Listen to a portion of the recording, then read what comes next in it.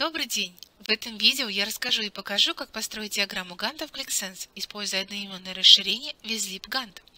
Расширение WizLib Gantt – это интуитивно понятное расширение временной шкалы планирования проекта. Перед вами пример классической диаграммы Ганта. Проекты отображают виденные визуализации с задачами и событиями на вертикальной оси. А с помощью горизонтальной временной оси можно задать длительность каждого этапа. Временную ось можно разместить также снизу. Время от начала первой задачи до завершения последней – это продолжительность всего проекта или подэтапа. Визлип поддерживает от 1 до 4 измерений. Что это значит? Это значит то, что можно задать иерархию в 4 уровня. Сейчас у нас с вами иерархия в 2 уровня. Это родительская группа и подгруппа. Опорные линии.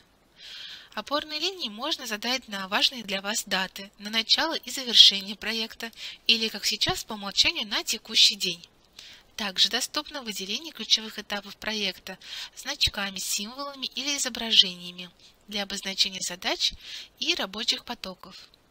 Технология Drill Down позволяет углубиться в данные до дня, часа, секунды. Необходимый уровень детализации пользователь задает сам. В качестве источника данных можно использовать Microsoft Project, Excel или другой планировщик задач. Давайте перейдем к построению, и в процессе вы сможете понять преимущества расширений. Для построения диаграммы Ганта нам потребуется таблица с исходными данными.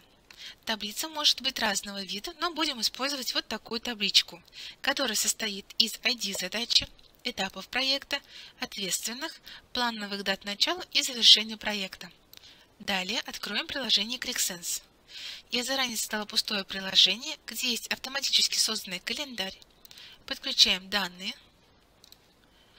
Мы видим уже данные, которые только что смотрели. Проверяем, вставляем скрипт и загружаем. Далее переходим на лист для создания визуализации. Расширение WizLibGant находится в пользовательских объектах. Находим одноименную папку WizLibGant перетаскиваем расширение на лист и сдаем размер. Если вы вдруг по какой-то причине забыли, как выглядит VisiBand в ClickSense, можно нажать на кнопку «Показать демо». Отмечу, что маркетологи используют диаграмму Ганта для визуализации своих текущих маркетинговых кампаний, видеть, кто над чем работает и есть ли конфликты в графиках. Посмотрели на диаграмму, закрыли. Добавляем идентификатор задачи. Идентификатор задачи может быть как в числовом варианте, так и в текстовом. Далее задаем плановую дату начала проекта и завершения.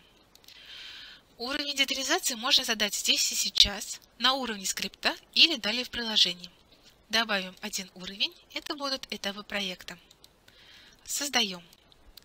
Вы видите, что буквально за пару шагов мы создали с вами диаграмму Ганта.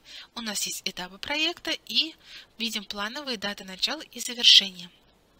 Цветовое решение визуализации можно изменить. В WizLib Gantt есть 6 настроенных тем. Выберем с вами одну для демонстрации. Мы видим, что все перестроилось в такой синий-голубой цвет. Мы с вами будем использовать более такой разноцветный вариант. Если в вашей компании есть корпоративный стиль, цвета, которые необходимо использовать в диаграмме Gantt, ее можно создать и сохранить. Сохраненная тема будет находиться в моих темах. Давайте перейдем в настройки. Искусственно добавим с вами еще один уровень детализации. Пусть это будут те же самые этапы проекта. Мы сразу видим, как построилась иерархия. Основная задача будет также подписана на визуализации. Если вам это не нужно, можно отключить. Перейдем к более тонким настройкам. Если у вас дата завершения проекта зависит от каких-то других этапов, то есть когда закончится, только можно переходить к начинанию или необходимо сдавать формулы, то можно отключить и прописать формулу. Все стандартно, как в ClickSense.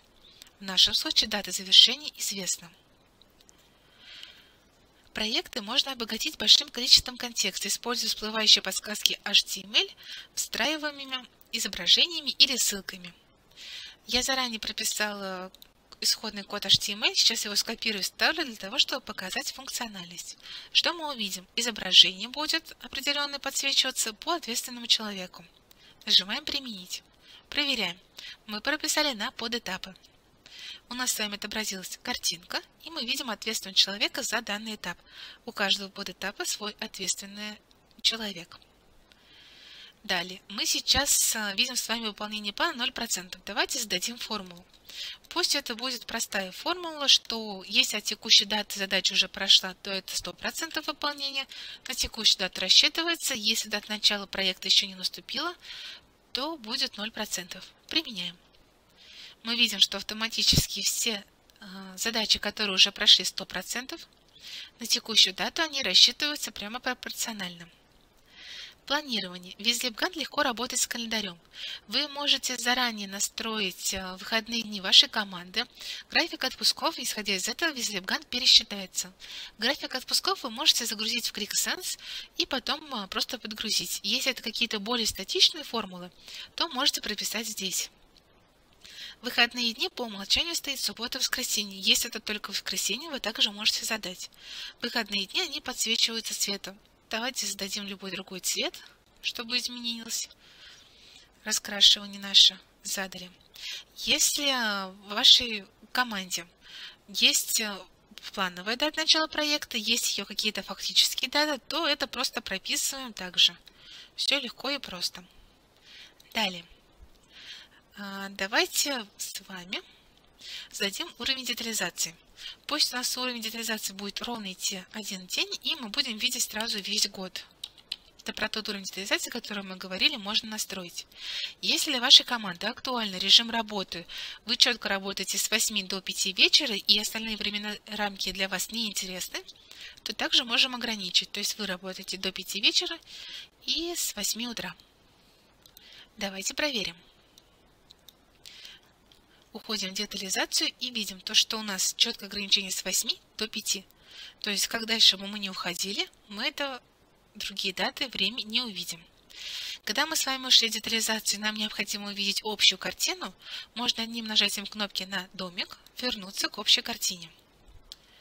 Для того, чтобы ограничить, то есть не было видно каких-то других дат, которые выходят за пределы нашей диаграммы Ганта можем задать э, максимальные и минимальные даты. То есть в нашем случае минимальные – это начало проекта применяем, а максимальные – это дата завершения.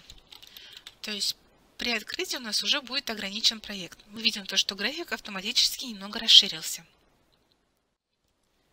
Основное преимущество расширения WizLibGant – это несколько проектов в понятной структуре. На одном дашборде можно разместить несколько проектов или увидеть остальные части проекта, применив фильтр. Участники команды будут видеть только те проекты, над которыми работают. Доступ к данным к потокам сдает администратор системы согласно требованиям. Давайте добавим с вами фильтр для проверки. Пусть это будет ответственный. Сохраняем визуализацию и проверяем. Выберем гражданина Зябликов. Мы видим, что визуализация перестроилась сразу под выбранный нам, нами с вами фильтр. Проверяем. Да, это гражданин Зябликов. Для того, чтобы снять фильтр, в верхней части панели закрываем. А, работать с фильтрами это очень удобно, особенно в диаграмме Ганта. Например, строительная сфера, когда много жилых комплексов, домов, корпусов, этажей.